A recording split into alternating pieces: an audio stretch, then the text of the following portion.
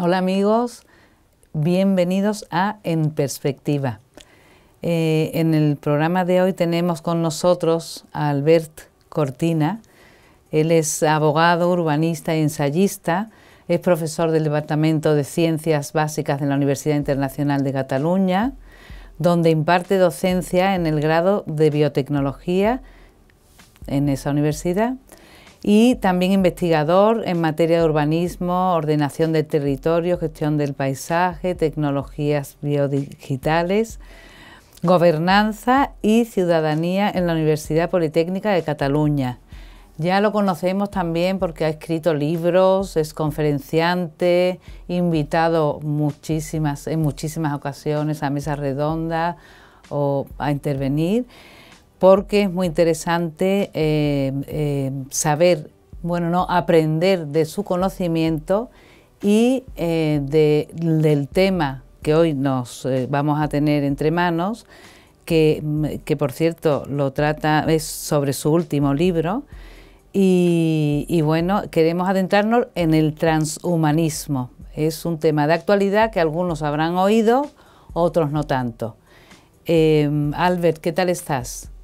Muy bien. Oye, muchísimas gracias por, por, haberme invitado de nuevo, poder estar con vosotras, que siempre es un, un placer. Estoy, bueno, estoy bien, estoy en Barcelona, como sabéis, y gracias a este sistema de las tecnologías, pues podemos eh, desarrollar esta charla, ¿no? ¿Qué te movió a escribir este libro, Transhumanismo, la ideología que desafía a la fe cristiana? Pues mira, me, me pidió la editorial Palabra Ah, tiene una colección de, bolsillos, ¿no? Pequeñitas. Bueno, es muy pequeño el libro, no sé si lo habéis visto así, los que están ahora, es, es, finito. Me pidieron un poco sintetizar lo que, perdón, lo que hasta ahora habíamos desarrollado en otros libros que son así como más, más densos. ¿no? Y, yo les planteé, digo, bueno, además de hacer una síntesis ¿no? para aquellos que todavía no saben pues, qué, es el transhumanismo, el, posthumanismo, etcétera, tengo una necesidad de explicar también eh, en qué desafía esta nueva ideología a, mi fe, a la fe cristiana, ¿no? ¿Dónde, dónde están los puntos de, de colisión? ¿Cómo podemos responder a las personas que defienden una posición transhumanista pues desde nuestros eh, postulados eh, antropológicos, ¿no? de la visión del mundo, de la visión de Dios, de la visión del ser humano, eh, desde la fe católica, y así salió, así salió el libro, pues ya digo, muy sintético, muy fácil de leer, yo creo, para todos los públicos, y, con la idea de, que en las parroquias, en los colegios, los padres, ¿no? las personas que, que están interesadas, sacerdotes, ¿no? que digan, bueno, ¿y, cómo de alguna manera puedo dar argumentos desde la fe católica para contrarrestar pues esta moda, esta tendencia que nos trae el transhumanismo. Pues cuéntanos un poco para el que no esté muy puesto en el tema, ¿qué es el transhumanismo y luego nos das una, no nos cuentas todo el libro porque lo vamos a comprar, pero nos cuentas un poco por qué contradice, que la gente tenga unas ideas básicas. Sí, a ver, el transhumanismo son muchas cosas, ¿no? porque como toda ideología, ¿eh? siempre es un movimiento ideológico, una ideología, pues hay muchas derivadas, ¿no? las, las que son a veces se, se, muestran como más radicales, ¿no? más extremas, las que, bueno, pues eh, de alguna manera son más moderadas, más asumibles en principio, ¿no? Por, alguna visión actual. Las otras son como muy utópicas, muy futuristas. Lo que pretende básicamente es cambiar al ser humano, ¿no? Tal como hoy en día estamos constituidos, es decir, por una evolución que nos ha traído hasta aquí, ¿no? a través de la, de la biología, de la cultura, y claro, desde una visión cristiana, pues bueno, desde el plan de Dios. ¿no? Entonces esto lo, lo quieren remover ¿no? y decir, no, oye, mm, vamos a cambiar al ser humano en su debilidad, en su fragilidad, en la, en la visión incluso mortal, ¿no? Mm, para hacerlo mejor, para mejorarlo tecnológicamente, para que tenga más capacidades, y de esta manera, dicen ellos, podemos trascender hacia el, hombre nuevo. ¿no? Muchos filósofos o antropólogos, Dalmacio Negro, etcétera, siempre han comentado esa visión del hombre nuevo. Claro, desde nuestra fe, el hombre nuevo es Jesucristo, ¿no? y, a quien imitar, el hombre perfecto, ¿no? La, la, culminación de lo que es nuestra naturaleza humana, de la antropología, hacia dónde tiene que ir el ser humano, eh, como hijo de Dios que es, ¿no? que somos, ¿no? pues lo tenemos claro, tenemos un modelo. Pero ellos, el transhumanismo como ideología, lo que pretende es sustituir esa visión y, bueno, como en la, vieja, digamos, tentación del paraíso terrenal, ¿no? decir, bueno, seréis como dioses, os vais a crear vosotros mismos, ¿no? ya que ahora tenéis la posibilidad a través de la ciencia y la tecnología pues de moldearos, ¿no? de, de, de, de alguna manera ampliar vuestro conocimiento, vuestra, vuestra genética, etcétera, ¿no? Incluso para trascender, dicen, del planeta y empezar a explorar el, el cosmos, ¿no?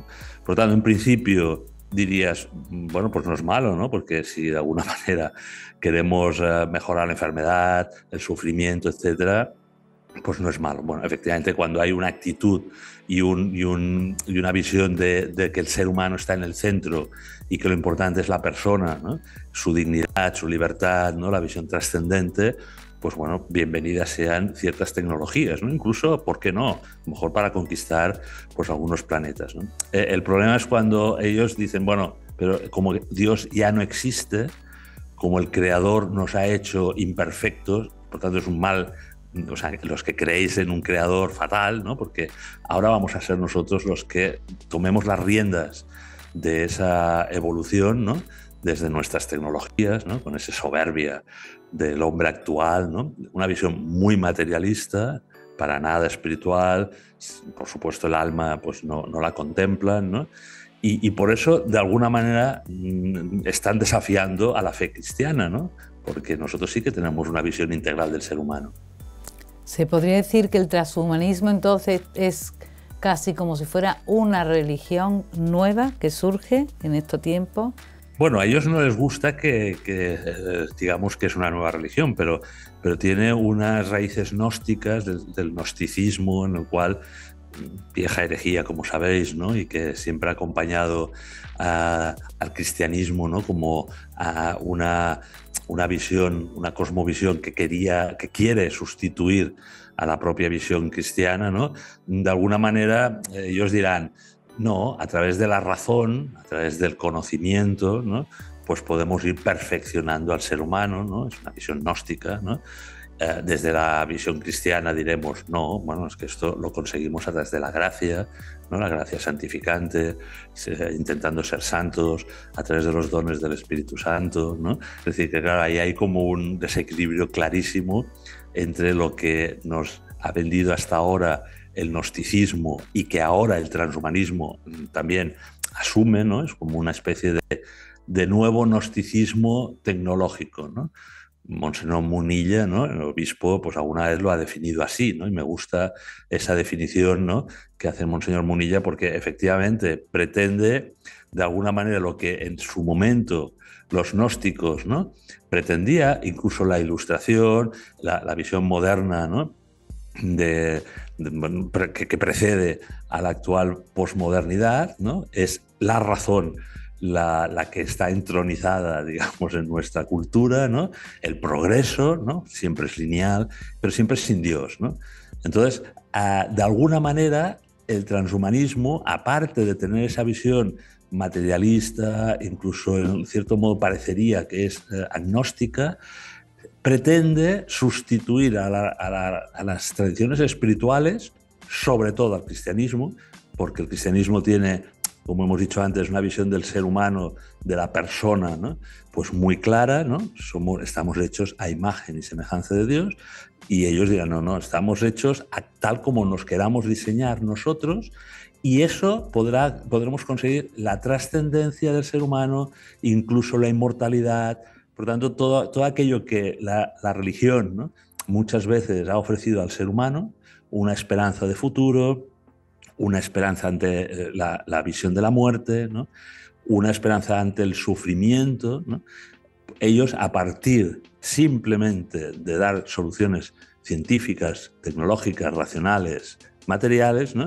pues eh, las ofrecen al, hombre, al ser humano mm, contemporáneo, que está como huérfano en estos momentos, muchos de esa visión trascendente de más allá, y entonces, pues bueno, una vez sustituido en esta época postcristiana pues la visión que tenemos católica ¿no? de, todas estas verdades, ¿no? de, hacia dónde vamos, quiénes somos, cuál es nuestra misión y cuál es el plan divino, pues acaban realmente convirtiéndose en una especie de religión, como tú has dicho, que muchos eh, contemporáneos nuestros pues serán creyentes de ella.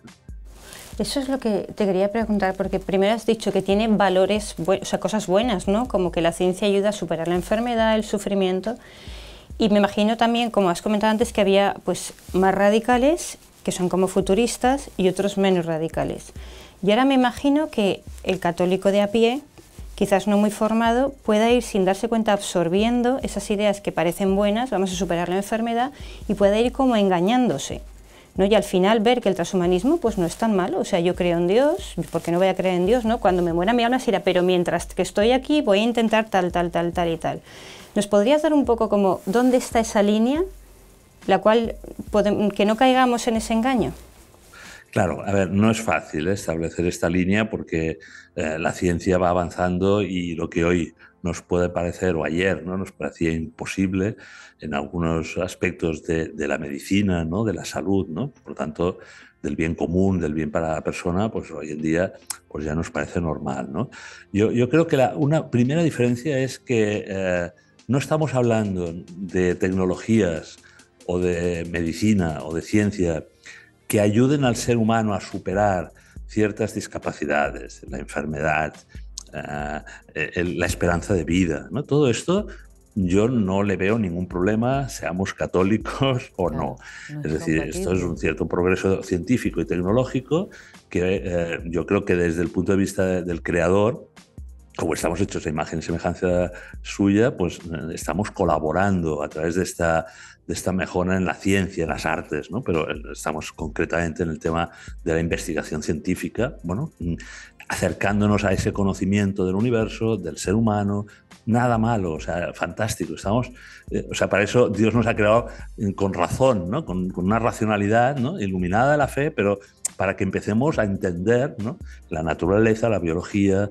Por tanto, hasta aquí ningún problema. Por tanto, no somos tecnofóbicos, ¿no? o sea, eh, personas que, que, todo lo vemos como algo tremendo, ¿no? porque sea simplemente un avance científico o técnico. ¿no? Eh, donde está eh, una, una primera raya o línea roja es en personas sanas, ¿no? es decir, que queramos mejorar al ser humano, hacerle superhombre, ¿no? o sea, intervenir, por ejemplo, en diseño genético, en modificación genética, no para resolver una enfermedad, ¿no? sino mm, para ampliar unas capacidades y crear unas diferencias importantes entre alguien que tenga la posibilidad de, esa mejora genética y, el resto de la humanidad. Ahí se establece una primera línea de decir, bueno, tenemos que intervenir en la línea germinal para crear distintas especies humanas, ¿no? crear una desigualdad mayor que la que ya tenemos hoy en día, pues por motivos económicos, sociales, culturales, educativos. Ahora sería una diferenciación genética.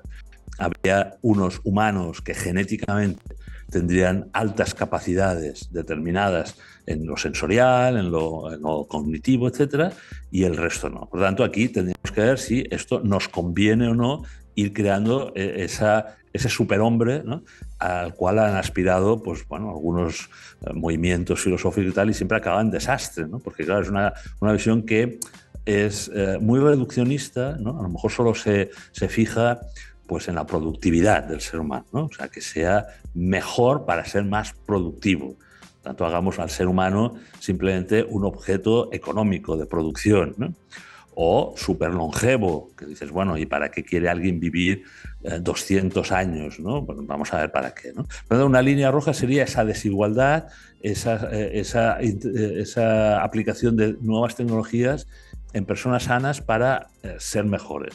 Pero otra, y por tanto el tema de la línea germinal, intervenir allá donde la vida ya se puede alterar esas condiciones, no solo en el individuo, sino que ya tenga una trascendencia en las generaciones futuras, ¿no? porque aquello genéticamente se va a reproducir, pues bueno, hay que tomárselo muy en serio y por eso los científicos a esa puerta, de momento, en Occidente al menos, no la están abriendo. Pero, pero la otra también está en el tema, no tanto genético, sino el de la inteligencia artificial, en el tema del control y la vigilancia. Es decir, hasta dónde tenemos que eh, nuestros datos, nuestros comportamientos, todo lo que vamos a pensar, ¿no? Tiene que estar de alguna manera pautado, monitorizado por unos algoritmos, por, por algo que, que, se nos escapará en algún momento de las manos, ¿no? porque ahora pensamos, bueno, siempre hay detrás un humano, pero, pero a lo mejor dentro de un tiempo no. Entonces, todos estos sesgos que producen los, los propios algoritmos, esa, esa delegación de funciones o de, o de, tareas o de creatividad que hasta ahora realizábamos los humanos y ahora se va poco a poco y cada vez más cediendo a esa inteligencia artificial, a esos robots inteligentes, etcétera, yo creo que es otra línea roja porque, bueno, es que si no nos estamos tirando piedras sobre nuestro propio tejado, ¿no? Es decir, está bien que nos ayuden, pero no que nos sustituyan. Y el transhumanismo, sobre todo la visión posthumanista, ¿no? el transhumanismo es como una transición, pero eh, la visión última que es, eh, tenemos que llegar a una humanidad ya que no sea propiamente humana. Por tanto, los que estamos ya aquí vamos a quedar obsoletos, dicen ellos. ¿no? Claro, yo creo que no, ¿no? O sea, lo que hay que es profundizar en nuestra humanidad, en lo que somos, en ser humano, en ser mejores, no, no causar lo que estamos causando, guerras, hambre, ¿no? que, parece que estemos todavía en la prehistoria, pero no en una visión absolutamente utópica de lo que decíamos antes del hombre nuevo, de, de la especie posthumana diferente a la nuestra, que lo que pretenda es, repito, controlar, eliminar y, y bueno, todas nuestras características que, que, hemos comentado antes, que es la visión cristiana, ¿no? de la libertad humana, de la dignidad, del bien común, desaparezcan. Mientras te estoy oyendo, me está horrorizando el mundo donde nos quieren llevar los transhumanistas, porque me parece como monstruoso, ¿no? Es decir, también antes ha hablado que no cuentan con el alma, efectivamente, en ese ser que ellos quieren, esa variación genética, ¿dónde está tu alma? Es decir, ¿serán felices? porque aparte de estar sin Dios, que ya es difícil, ¿cómo es esa persona por dentro? Entonces, ellos eh, eh, se podría decir que tienen o rechazo? ¿Cómo, cómo encajan el sufrimiento y la muerte? Claro, fíjate que, que ellos siempre hablan de, de, la mente, ¿no? O sea, lo importante eh, para ellos es eh, lo que hay en, en, nuestro cerebro, en la mente, ¿no? Cosa que ya sabemos desde una visión antropológica adecuada que, que, que, hay más, ¿no? que no solo el cerebro y la mente. ¿no? O sea, somos, como decía Benito XVI, eh, somos personas, hay, ha de haber un humanismo integral ¿no? de todas las dimensiones del ser humano. ¿no? Y por lo tanto, la espiritual también, por supuesto, ¿no? los sentimientos, la, la afectividad, la creatividad, no solo pensar en crear unos superordenadores ¿no? humanos, ¿verdad? Que, que sin alma, ¿eh? unos cuerpos sin alma, que sí se han, eh, hayan aumentado su capacidad mental de cálculo, de, de comprensión de ciertos datos, ¿no? de análisis, pero que bueno, no tengan sentimientos, no tengan eh, esa visión espiritual que, que, debemos tener cuando hablamos del ser humano, de la persona, que es eh, integral. ¿no? Por lo tanto, claro, si nos llevan hacia esa, uh, ese mundo zombie casi, ¿no? de, de, de seres humanos muertos en vida, ¿no? Porque en definitiva eh, a veces en las películas eh, es lo que vemos, ¿no? O sea, esos, eh, esos híbridos, esos a, a seres que ya no son humanos, pero, pero tienen las características de la máquina, ¿no? Bueno, pues va a ser como una degeneración, ¿no? Un, una vuelta hacia atrás, ¿no? En lo que ha sido o lo, que la evolución nos ha traído como, como humanos, ¿no? que es una, una visión trascendente. ¿no? Es, es, fundamental que cuando ellos hablan de inmortalidad, fíjate que ya, ya, hemos visto que se utilizan palabras, pues eso, ¿no? Eh, religiosas, ¿no? Inmortalidad. Bueno, nosotros hablamos de vida eterna, ¿eh? mucho más eh, completo, ¿no? Una visión más amplia, ¿no? Pero ellos hablan de inmortalidad, que es de alguna manera esa mente, esos pensamientos, ¿no?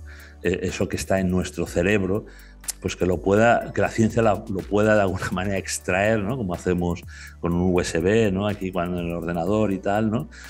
Transferirlo a otro eh, soporte que no sea el cuerpo biológico y trascender, ¿eh? dicen ellos, a la migración de la mente le llaman trascendencia y ser inmortal para ellos es estar en algo que no es la corporalidad.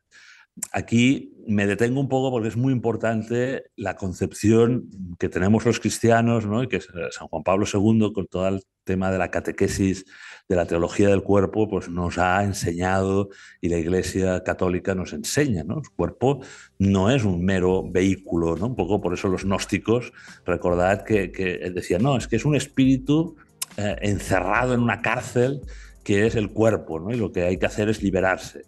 Bueno, el cristiano no, ve el cuerpo como una cárcel, el transhumanista, igual que los gnósticos, sí, lo ve caduco y, por tanto ahí confronta claramente el transhumanismo gnóstico de, superar el cuerpo primero mejorándolo, pero hasta, hasta donde se pueda, como haríamos con un coche o con una, ¿eh? tuneándolo, pero hasta que se pueda, porque la aspiración máxima es salir del cuerpo y migrar hacia otro soporte que sea de silicio, de lo que ellos consideren como más eh, perdurable que no la carne. En cambio, la visión antropológica cristiana, muy centrada en la encarnación, eh, en que somos cuerpo y alma, seremos resucitados, eh, nuestros cuerpos, nuestra carne, en un alma inmortal, en esa vida eterna que nos espera, claro, ya se ve que una cosa es una verdad muy completa, como muy seductora, como muy esperanzadora, y lo que nos está ofreciendo el transhumanismo es un poco low cost, ¿no? como la marca blanca de, de lo que sabemos mm, desde el cristianismo que es la verdad. ¿no? Y, por eso, pues, eh, cuando uno es un católico, ¿no? vea, cuando hablabas de líneas rojas, ¿no? que lo que están es negando esa visión de fe, esa visión de verdad y de, antropología adecuada y nos estén vendiendo una baratija, ¿no? de que vamos a transmigrar nuestra mente en un robot y que eso será la inmortalidad cibernética, pues bueno, yo creo que para los que no tienen fe y que necesitan colmar de alguna manera esa aspiración de más allá y de trascendencia, pues les puede seducir, pero en el libro, un poco en el pequeño librito este nuevo que, que estáis eh, presentando y comentando, lo que se prevé decir, oye, tenemos una riqueza en el cristianismo para dar explicaciones a todo esto, que lo que hay que hacer es profundizar, tenemos que leer más, formarnos más, ¿no? porque tenemos respuestas maravillosas. Y eso es un poco el anzuelo del libro que, que comentamos, es abrir como esa mente, decir, oye, pero si tenemos un tesoro. Si nosotros podemos dar no solo respuesta a lo que nos está planteando el transhumanismo y la posmodernidad, etcétera, sino que es que tenemos que formarnos porque es una maravilla, ¿no? No se acaba nunca, ¿no? Eh, la, visión de qué es para nosotros la vida eterna, qué será un cuerpo resucitado, cómo se trata el cuerpo en nuestra, eh, la visión, como decíamos, de, de, la teología del cuerpo templo del Espíritu Santo. Bueno, hay, hay una riqueza allí que no nos la acabamos. No hace falta ir a comprar a, a, la, ideología del transhumanismo ni a la visión de esa nueva religión secular que en estos momentos está configurando no solo con el transhumanismo, ¿no? sino con otras ideologías, ideología de género, etcétera, que pretenden llenar los huecos, los vacíos que esta sociedad posmoderna pues ha ido dejando al abandonar la visión de Dios. ¿no?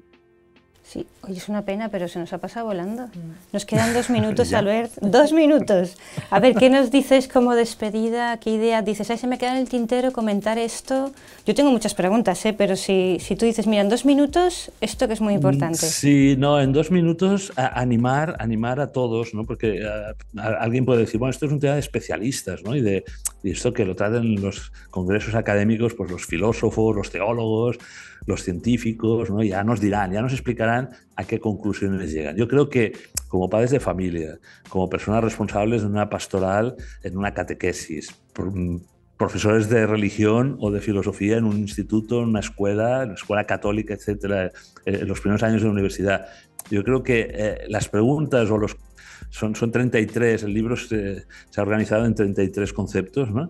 Eh, que son conceptos transhumanistas, pero después dándole una pequeña vuelta ¿no? de cómo la, visión cristiana pues, los podría como contraponer.